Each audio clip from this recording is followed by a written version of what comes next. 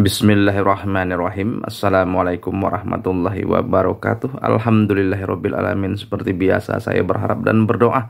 Mudah-mudahan Anda sekeluarga di sana pada malam hari ini Dalam keadaan baik dan dilindungi oleh Allah subhanahu wa ta'ala. Diberikan kesehatan, diberikan keberkahan Dan tak lupa pula dicucurkan rezeki yang berlimpah ruah. Amin, amin ya rabbal alamin.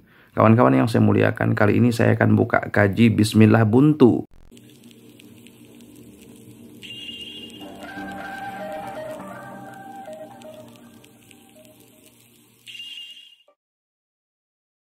Thank you.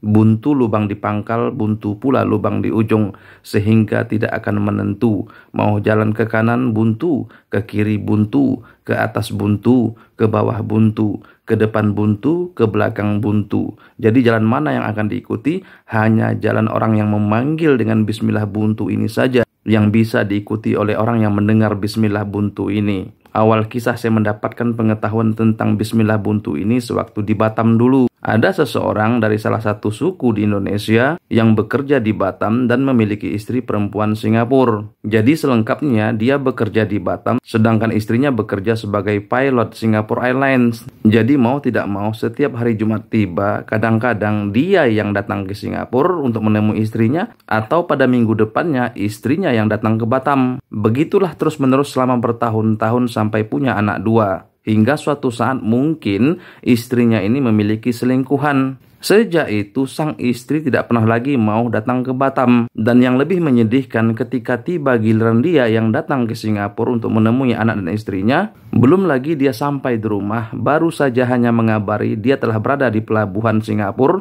maka pintu dan jendela rumah telah ditutup oleh istrinya ini. Berkali-kali dia memohon penjelasan sebab musabab kenapa semua ini bisa terjadi secara tiba-tiba. Dan jawaban daripada istrinya hanya satu kata saja. Buntu saya bang untuk menjelaskannya, katanya kurang lebih begitu. Hingga mengakibatkan dia buntu juga mencari jalan keluarnya. Sebab akar muasal masalahnya tidak diketahui. Dan peristiwa ini dia alami selama bertahun-tahun, kurang lebih hampir tiga setengah tahun. Lalu pada zaman itu kan banyak sekali orang-orang pintar dari Pulau Jawa yang buka praktek di Pulau Batam. Maka atas bantuan salah satu paranormal yang cukup mumpuni menurut dia, memberikan jalan untuk memanggil secara batin istrinya tersebut. Medianya menggunakan gentong air yang terbuat dari tanah. Lalu pada malam-malam tertentu setelah membaca wiritan atau mantra-mantra tertentu pula, pelaku akan memanggil nama istrinya pada mulut gentong tersebut dengan bersuara lantang atau berteriak. Karena dia melakukan ritual itu tepat di belakang rumah kontrakan saya, maka tentu saja sebagai orang bujang yang sangat jarang tidur malam, semua prakteknya itu terdengar jelas oleh telinga saya. Malam pertama saya anggap biasa-biasa saja. Malam kedua juga begitu.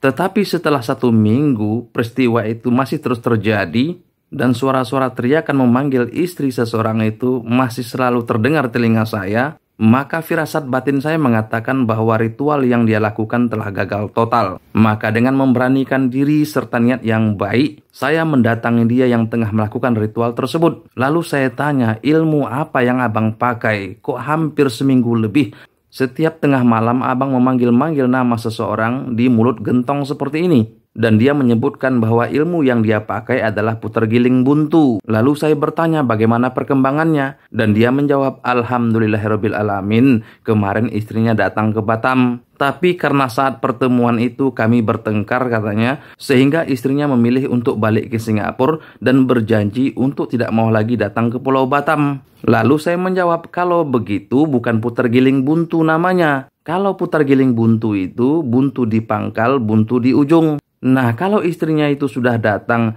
tetapi dia masih bisa balik kembali ke Singapura, atau dia masih punya pilihan untuk berjalan ke tempat lain, maka itu namanya bukan buntu. Kalau buntu itu buntu di Batam, buntu di Singapura, buntu otak, buntu jiwa, tak tahu jalan ke mana.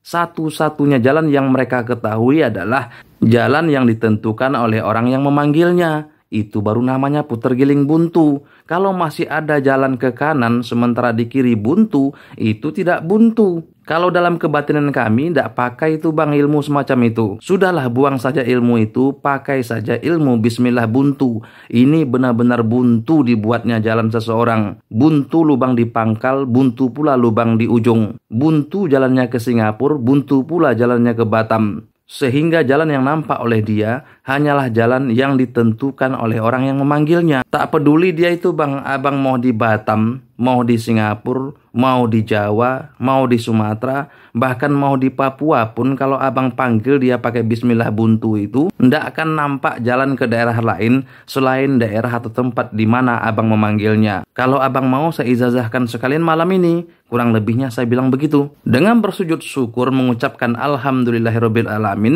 dia sangat bersedia untuk menerima ijazahan dari saya itu. Lalu seperti biasanya ilmu-ilmu dari Pulau Sumatera, kami akan membukakan langsung kaji ilmunya.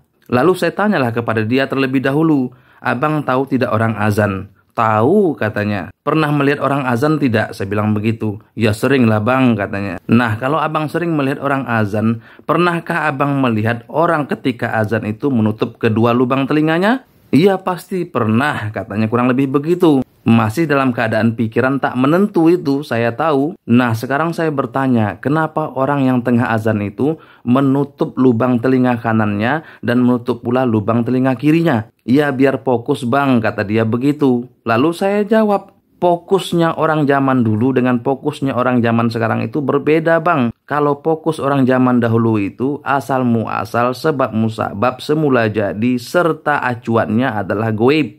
Maksud saya fokusnya mereka itu disebabkan oleh hal-hal goib. Beda dengan orang zaman sekarang.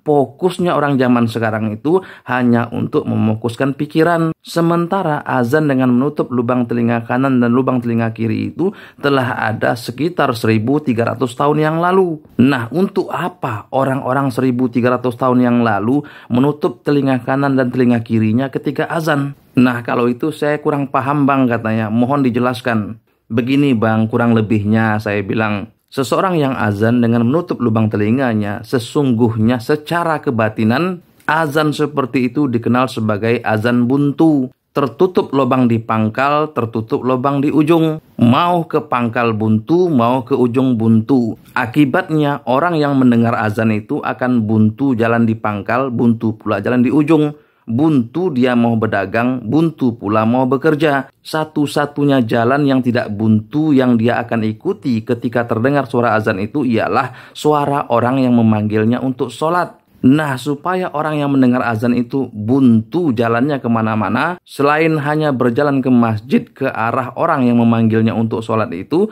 makanya ketika azan itu, hakikat makrifatnya, lubang telinga kanan dan lubang telinga kiri ditutup itu supaya suara azan yang mencuar ke mana-mana menyebabkan jalan orang yang akan berdagang, yang akan bekerja, yang akan curang, yang akan mencuri, yang akan berbuat buruk ketika suara azan itu terdengar menjadi buntu.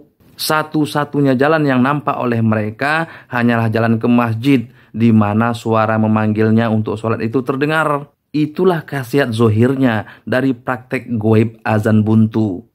Nah, sekarang coba abang baca Bismillahirrahmanirrahim dengan nada seperti orang azan tepat di mulut gentong air abang itu. Dengan menutup kedua lubang telinga. Jadi contohnya seperti ini kawan-kawan. Tutup kedua lubang telinga Anda supaya buntu. Lalu bacalah Bismillahirrahmanirrahim.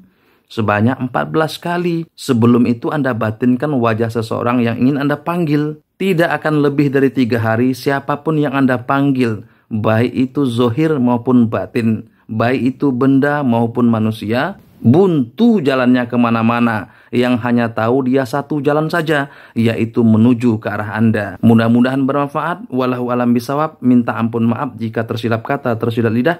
Assalamualaikum warahmatullahi wabarakatuh